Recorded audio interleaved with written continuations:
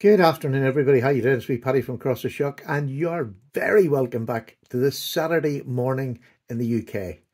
Um, today, I'm going to be talking about this knife. It's my newest Spyderco, and I now have a full set of Spydercos now. When I say a full set, I mean a collection. I have now got five and a half. I had four and a half. I've now got five and a half. I'll explain. Don't worry. It's not confusing.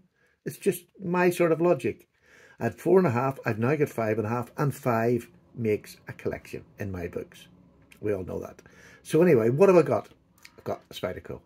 But what Spyderco have you got, Paddy? Well, this is a Spyderco I've had four or five times, and I keep rebuying it. But I think I've actually got to the stage now where this is my last one. I have got the right one. And I have got five beautiful, beautiful Spydercos. And I don't think I need any more. I think the five's enough. I can move back on to something else. So here we go. Let's talk about it. What is it? It is this little puppy here. I'll just hold it up so you can see it. Look at that. What a beautiful looking knife.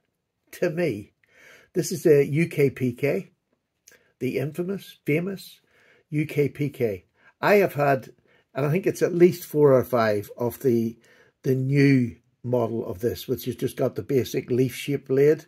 This has got the drop point with this beautiful little, oh, I don't know, it's like a, a oh, I don't know, what would it be like a swallow coming down to land? It's just beautiful. I absolutely love the shape of the blade. It's not Sometimes I think the Spyderco leaf blades are, are, just a bit, they're efficient, they're fantastic blades, don't get me wrong. Nothing wrong with them as far as cutting goes, but I also like aesthetics. And the aesthetics on this just gives me the fizz. I've got a lovely big piece of belly here. I love this swoop down here. I just love everything. The point is absolutely on point.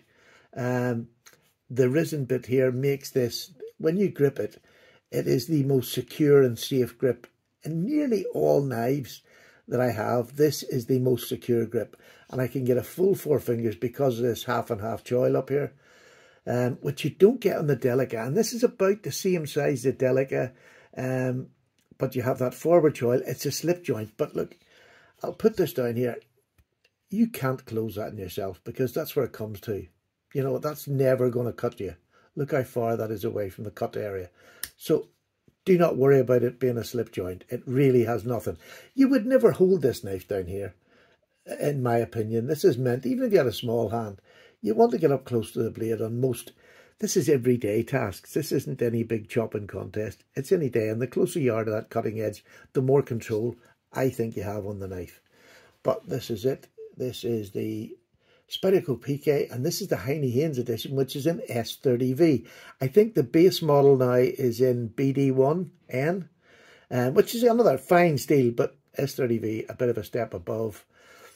And this one is made in Golden, Colorado, USA Earth. So there we have a USA-made Spyderco. To me, uh, genuinely, I think this is better than the Delica, just for that simple, this forward choil here, this nice bit of belly. There's a bit of interest to the blade. It's not just, um, it's not just a, a, a straight leaf shape, for want of better words, because I haven't got them. This is in red G10, perfect, absolutely lovely. Um, it looks quite severe at the edges, but it's very, very comfortable in hand. And this pocket clip is quite low as far as these um, uh, metal clips go. This is, sits quite low. So yes, I can feel it and it's sitting here in my palm about here, but it's not digging in at all. And because of the rounded of the, of the wire clip, it really is comfortable. I could work away quite happily with that and not have any hot spots. If I was to use this kind of knife for a long period of time, which I probably wouldn't.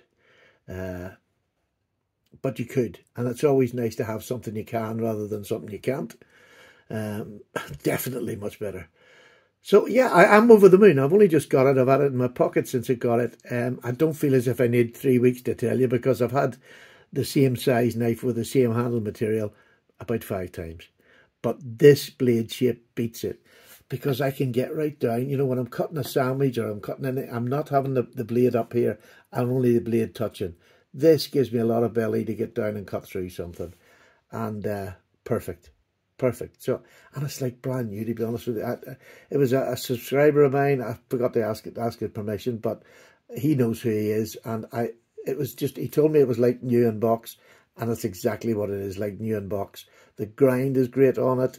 Um, I'll put a little sharpening oil in there because I'm intentions of keeping this one. So there'll be a little sharpening oil in there. I might even do a wee video while I'm doing that. It only takes a couple of seconds with a, a Dremel. But yeah, absolutely perfect. Clip, handle material, blade material, but aesthetically, much, much nicer than the, the updated version of this. If you can get these, I got this in a second-hand market. Uh, the young fella charged me uh, 60 quid, which is just a fantastic price. I got it for a great price. You know, this is a, definitely an older model, so but it's in brand new. It's like new in box. Um, I'm really happy to pay that amount of money for it. Probably would have gone £10 more. But it was a really fair price. And it means you're, you're keen to do business with somebody again when they're nice like that. So there we go. You'll never get that nice from me. so there we go. So I'm going to show you. I said to you, I now have five and a half. And I'll, I'll work down to the half and let you see. The next one I'm going to show you, I'm going to go up with you in size, is the Spidey Chef. Just my one of my top favourite knives. Absolutely. Uh, you can see this one's been well used and battered. I've got this second hand as well, but it has had plenty of use since I've had it. I use this in the kitchen. Love it. Use it when me and Justin go camping. That's what I used. Uh, it's just a super knife for slicing. It's not ultra thin like a chef's knife, but it's a Spidey chef and it does it as good as I'm ever going to want to. I can't do fancy shopping. I just slice. That's it. So it's the perfect knife for me. I love it. LC200, completely stainless. Perfect for out camping or whatever you're away for a weekend. You don't have to worry about making sure it's dry and all. You can just throw it in a bag and that's it. So I absolutely adore this. This is another keeper. They're probably all keepers, I'll say in my head. Then the one that I got sort of, I think it was a knife before this, is this big beastie of a knife. This is the Endura, but this one's in the big brown. No, it's not the big brown. This is in K390, which is another amazing steel. It has the cutting edge, that just lasts. It just doesn't seem to want to get blunt. It is super, really is.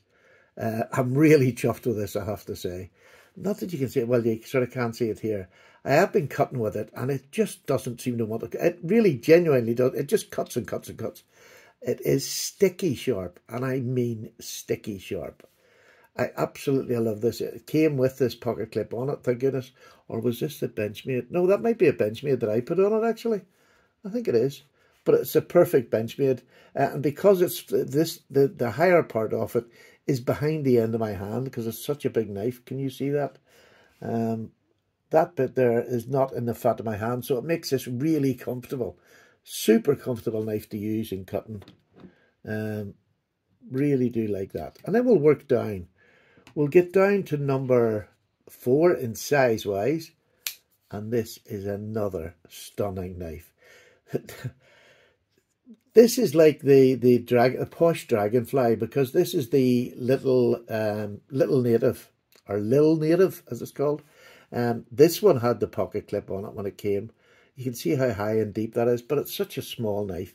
Again, it sits in the in the meat of my hand there. I can feel it there, but for this knife, I'm not going to be doing huge amount of cutting. This is just the perfect size. And when this forward choil, they, they just nail it, Spyderco. That is comfortable, easy to use. That little knife would probably only sit like that with me anyway for cutting. But this is an S30V as well. Again, one of my favourite steels. And Spyderco, you, you can nearly guarantee that a Spyderco blade, when they tell you whatever it is, it will cut to that standard of that blade. They, they're trendsetters for getting it right. For getting it right, they're trendsetters. But I love this one. This is like a Sunday one. Small, goes in anywhere, wherever you want to put it. And then my last is, uh, the last full blade is the Spyderco Kiwi. And as daft as this is, and these are all great cutters and great steels, this is in 8CR13. And let me tell you, see, for a little knife, you want to pull out a little knife, what character does that have? It's just, there's not a pin in it, there's not a screw in it. It is just super. I absolutely love this little knife. It's it's dinky. It'll go anywhere. It'll slide anywhere. And again, that half and half choil just kills the competition because it is perfect. It is absolutely perfect. There's nothing left out, but I get a full four fingers grip. So that would be my five, which makes a collection. But I did say I have one more, and we'll have to go up to this end again. Not because,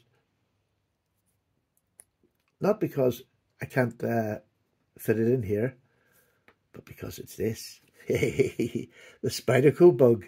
And that is my five and a half Spydercos. And I don't, I can't think of anything else that I need. Well, I'm sure there's plenty I want, but I don't think there's anything else I need. I'm going to try and move on now and get another set of, um, I would say Benchmade, but I can't afford Benchmade anymore. Simply just can't afford them. The just prices are asking are stupid. But I might be able to get some in the second-hand market. I might even look for a proper again, just for the, the giggles. But I'll not pay a whole lot for it because it's a crap knife. But I just, I just it's, it's, it's not a crap knife. It's a lovely knife. The, the execution of the back spring just kills it for me. But I might get one just to say I've got one in my Carta. Hence, if you're selling one at a stupid price, I might just buy it off you. Hit me up. so that's it. I hope you enjoyed that. But this, I would definitely say over a Delica. Yeah, absolutely. Plus, you're going to get a G10, which I prefer over plastic. I mean, the plastic is great. It is good. But I'd still prefer a bit of G10, to be honest with you. Um, if push came to shove. There you go. That's me finished. Have a wonderful rest of your Saturday. Um, and I'll see you tomorrow for another video. Um, is anybody interested? If Before you go, um, oh, by the way, please like, subscribe and comment before you leave. Hit the wee like button and subscribe. Ring the bell, put the wee bell, hit it a dingle. It means you'll get notified every single video that I put up. And comment lets me know whether you enjoyed it or you hated it. Would you like to see, since I got this one as a UK friend, would you like to see my small collection of um, UK-friendly modern slip joints? Um, tomorrow, if you would, a few people hit me up in the comments. I will definitely do that tomorrow for you because I've got a really nice mixed bag selection uh, like I do with everything. I'm not one for buying three or four of one pattern. I like change. So take care, everybody. I'm away now for definite. Bye.